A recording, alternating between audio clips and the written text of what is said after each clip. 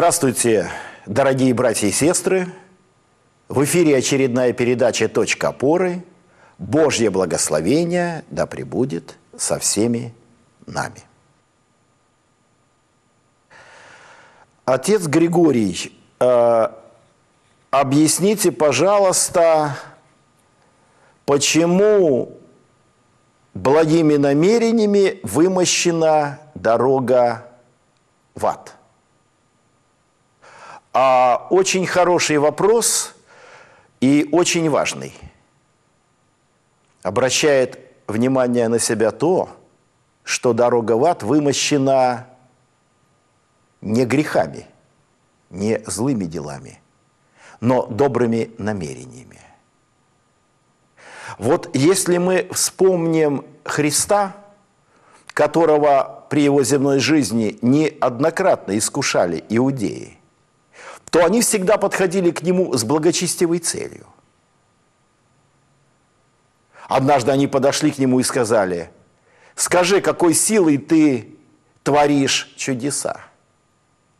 Если бы Христос сказал, что я Господь и силой Божией творю, его можно было бы побить камнями. А если бы он сказал, что человеческой силой, то тогда его можно было обвинить, что он будучи человеком, присваивает себе прерогативу Господа Бога. То есть иудеи задают лукавый вопрос таким образом, что как не ответь на него, все окажешься в неловком положении. И что же им отвечает Господь? Видя их лукавство, Он им говорит. А крещение Иоаннова от кого было? От Бога или от человеков? И тут уже иудеи оказались в такой же ситуации. И сами себе сказали, если мы скажем, что это было от человеков, то народ побьет нас камнями, потому что все почитают его за пророка. А если мы скажем, что от Бога, то тогда Христос нам скажет, почему вы ему не поверили. И они ответили ему, не знаем. И он им ответил – и я вам не скажу, какой силой это творю. Потому что они и так прекрасно понимали, что силой Божьей Господь нас, Иисус Христос, творит все свои чудеса. Или другой евангельский пример. Когда иудеи, желая искусить Христа, подают ему динарий и говорят, позволительно ли давать подать кесарю? Если Господь скажет «позволительно», то это оскорбление для всего еврейского народа, потому что это считалось величайшим унижением. А если скажет «непозволительно», значит, можно его взять под стражу. И опять, предвидя их лукавство, он говорит им, покажите мне динарий. Чье изображение на динарии? Они говорят, кесарева. Так вот, отдавайте кесарю кесарева, а Божью Богу. То есть это можно назвать искушение благочестием. Благочестивые в кавычках иудеи искушали Господа нашего Иисуса Христа.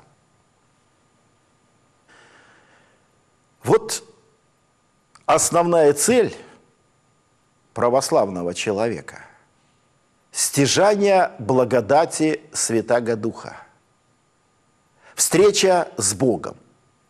Поиск Царствия Небесного.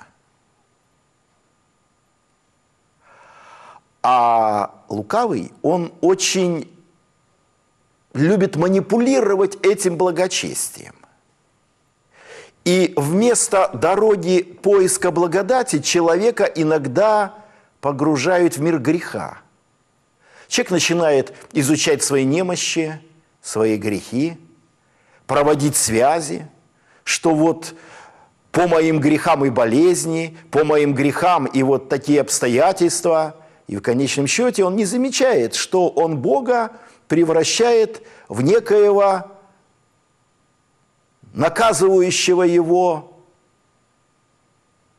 за деяние. А ведь Бог любящий Отец, Он никого не наказывает. В притче о блудном сыне отец никогда не наказывает сына, он ждет, когда сын к нему придет.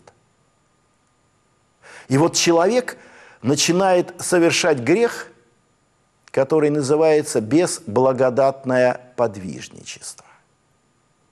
Он становится действительно подвижником, но безблагодатным. Он начинает изучать свои грехи и входит в состояние уныния, в состояние депрессии. Потому что человек не может изучить грехи своей волею. Воля человека, она крайне важна в видимом земном мире. Но в невидимом мире, в мире духовном, воля человека – это ноль без палочки. Преподобный Серафим Саровский говорил, самый малый бес одним когтем землю проткнуть может. И вот невидимый лукавый мир постоянно выталкивает человека с его волей в мир духовный. И бесы приходят под видом ангелов и начинают уводить человека от Бога. Вот видение грехов – это благодатный дар Божий. Господь, как любящий Отец, скрыл от нас наши грехи до поры до времени. И для того, чтобы их увидеть, надо получить особую Божью благодать. С человеком должно произойти такое состояние, как с разбойником. Помните песню? Вдруг у разбойника лютого совесть Господь пробудил. Совесть Господь пробудил. Или как у разбойника, распятого на кресте, который, обращаясь к Спасителю, сказал, «Помяни меня, Господи, во царстве своем. Нынче же будешь со мною в раю». И он первый вошел в Царствие Небесное прежде всех праведников. Вы знаете, вот э, грех – это огромный спрут, который находится под океанской поверхностью.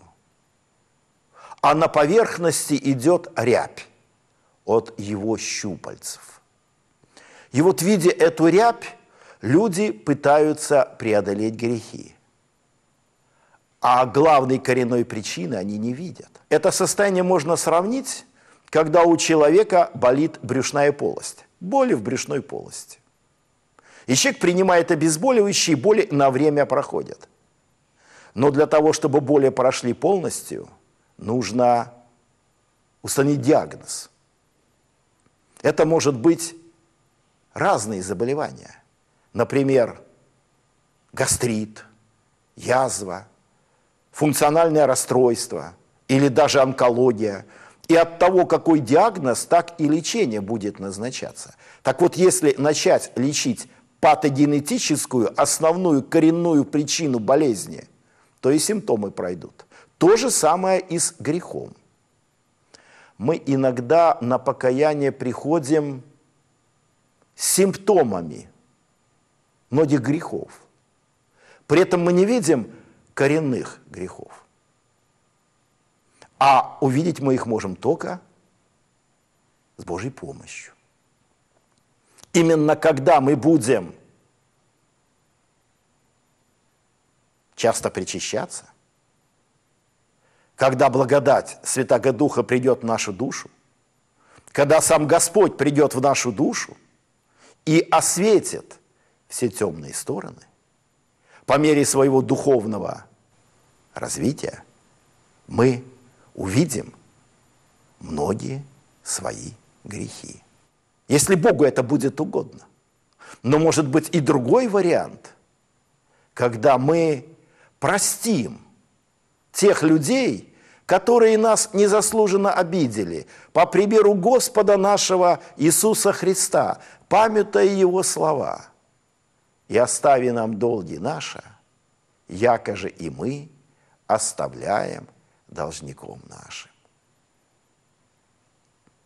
То есть, когда мы умрем и предстанем перед Христом, Он скажет нам, все твои грехи прощены, но ты, по моему примеру, простил тех, кто незаслуженно или заслуженно обидел тебя. Значит, раз есть такие люди, значит, есть некие грехи, которые нуждаются в этом прощении, наши грехи. И они могут уйти, даже мы их не осознаем, по милости Божией. Когда человек пытается разобраться в грехах, то он нередко проявляет рвение не по разуму и занимается безблагодатным подвижничеством. Но судите сами. Если человек увидит грех и покается, то он встретится с Богом и обретет благодать Святаго Духа. А если он изучит многие свои грехи, он впадет в уныние, депрессию и удалится от Бога. Помните, главный критерий приближения к Богу – состояние радости.